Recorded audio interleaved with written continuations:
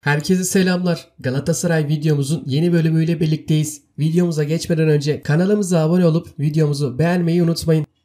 Merhabalar Levent Özçelik. İyi yayınlar dilerim. Lütfen Teşekkür ederiz. Ee, nedir son durum? Öncelikli olarak onu öğrenelim. Ee, artık hafta sonu itibariyle birçok ajans artı e, spor yazarı hep son dakika haberi olarak Okan Buruk kesinleşti şeklinde e, bir ifadede bulundular.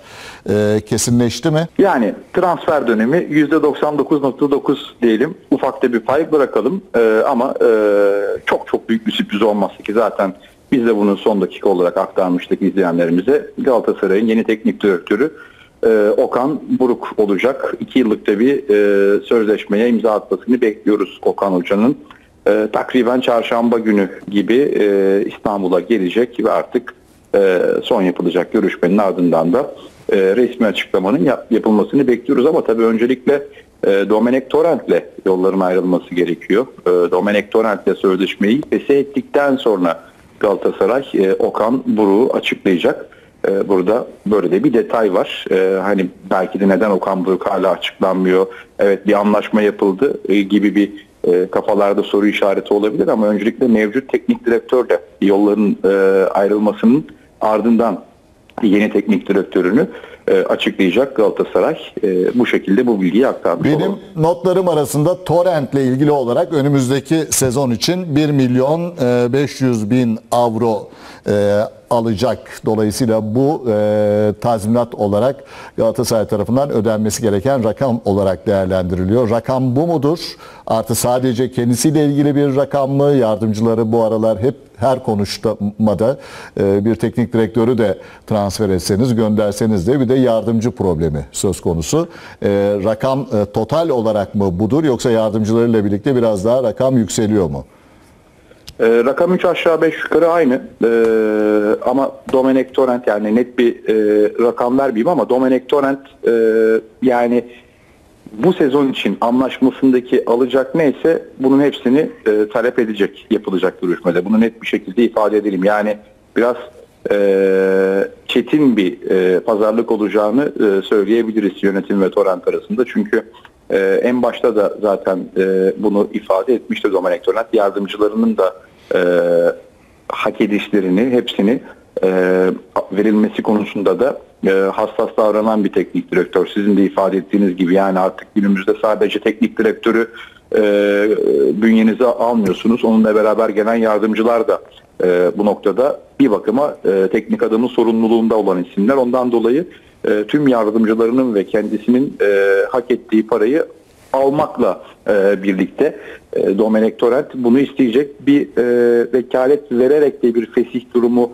olma ihtimali vardı ama e, İspanyol hocanın kendisinin e, artık e, önümüzdeki günlerde İstanbul'a gelerek e, bu görüşmeyi e, yapmasını bekliyoruz. E, ama dediğim gibi yani e, yönetim elbette bu miktarı aşağı çekebildiği kadar çekmek isteyecek ama Torrent'in de e, haklı olarak sözleşmesi gereği oradaki hak edişi neyse o parayı da talep etmek e, onun da en doğal en tabii hakkı o, e, bu açıdan e, Yani, Ee, bir marka konusu var, Balotelli konusu var, Dinayer konusu var. Yani sonuç itibariyle aslında Sayın e, Özbek e, prensip olarak kimseyi göndermek istemiyoruz e, şeklinde bir ifadesi var.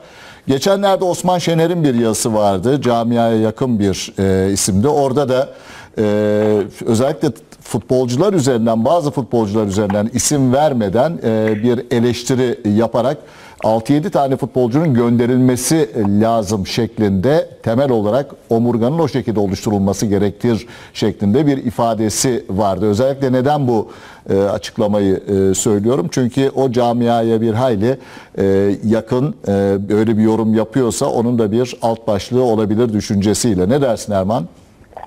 Evet yola çıkarken e, hem Sayın Erden Timur'la yaptığımız röportajda hem de e, Dursun Özbek'le yaptığımız görüşmelerde yıldız oyuncu satışına sıcak bakmadıklarını ifade etmişlerdi ama bir de e, oyuncuların rızası da e, burada son derece önemli. Marka üzerinden gidersek Marka bu sene takımdan ayrılmak istiyor. Yakın çevresine de e, bunu ifade etti. E, oyuncuyu da makul karşılamak lazım çünkü hedefi Brezilya milli takımıyla Dünya Kupası'nda e, forma giyebilmek.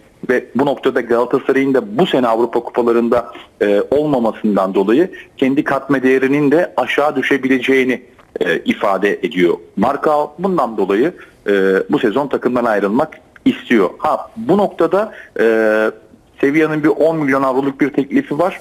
O kabul görmedi. Hafta içerisinde, bu hafta içerisinde rakamın 12'ye 13'e doğru yükselmesini bekliyoruz. Ee, hani bu rakam yönetimi tatmin eder mi?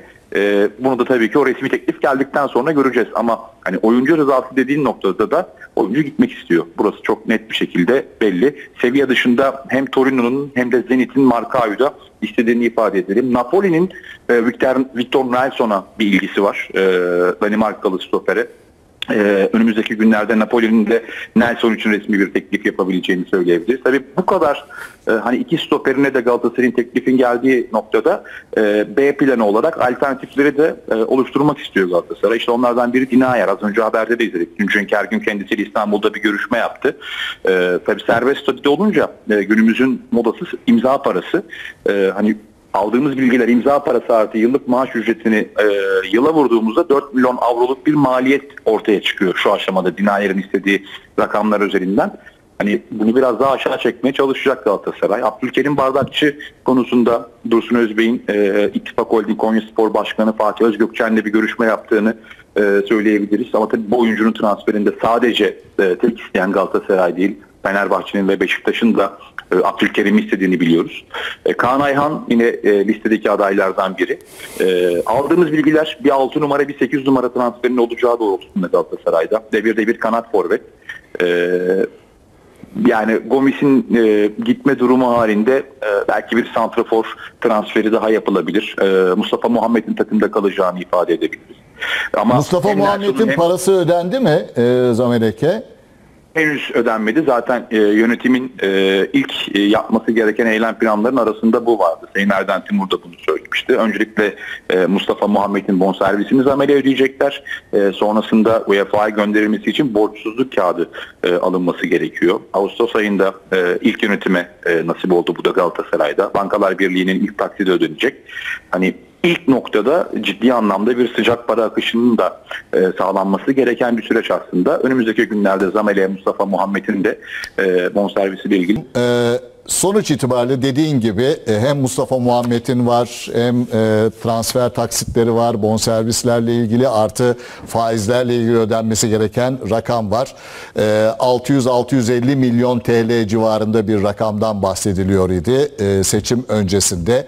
Diyelim ki bazı futbolculardan da gelir geldi ama nereden bakarsan bak 400-500 milyon e, lira civarında bir ödeme e, gerekiyor. Son zamanların moda ifadesiyle e, kasa kolaylığı sağlanması. Burada kasa kolaylığının sağlanmasında Galatasaray yönetiminin nasıl bir yöntem izleyecek? Yani Galatasaray bir bağış mı yapacak yöneticiler yoksa kulübe bir şekilde bir rakam verecekler ve alacaklı pozisyonuna mı geçecek?